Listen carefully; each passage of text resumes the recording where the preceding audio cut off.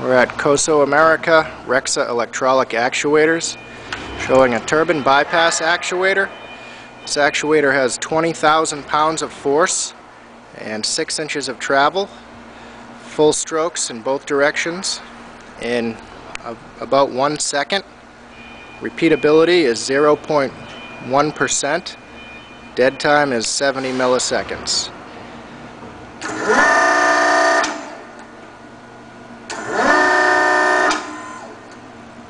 We have a 4 to 20 milliamp control signal input. We're demonstrating here the repeatability of the actuator. It's a raw egg.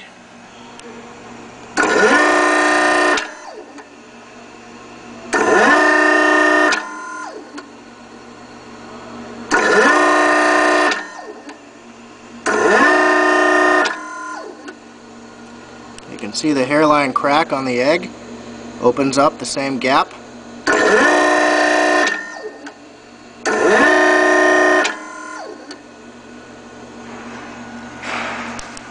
This is where the valve would connect.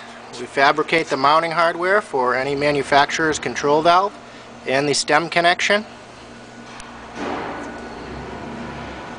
On the unit you have a large servo motor and pump for the fast position change and a smaller motor and pump for the fine position change. This is the hydraulic cylinder, double rod cylinder. And to show you the repeatability on the dial indicator, this is in thousandths of an inch.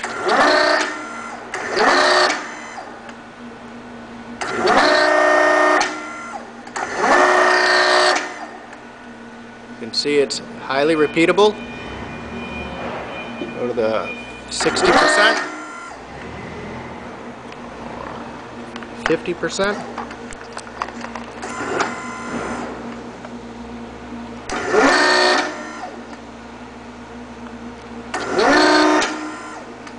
Okay, hold this for a second.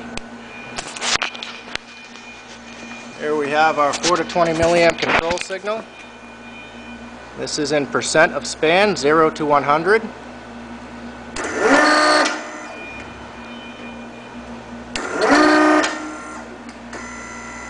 And to show you the frequency response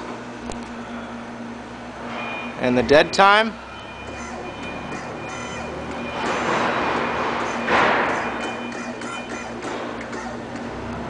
you see I can make very small set point changes.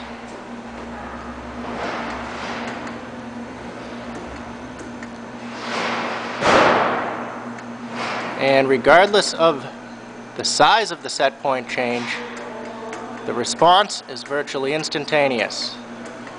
70 millisecond dead time. You can see as fast as I can change my input signal from my control system, I have valve stem motion.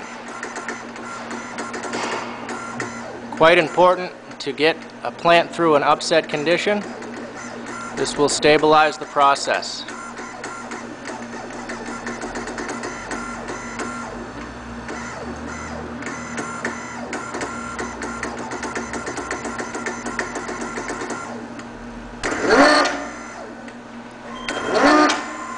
And Again, very rapid full stroke speeds.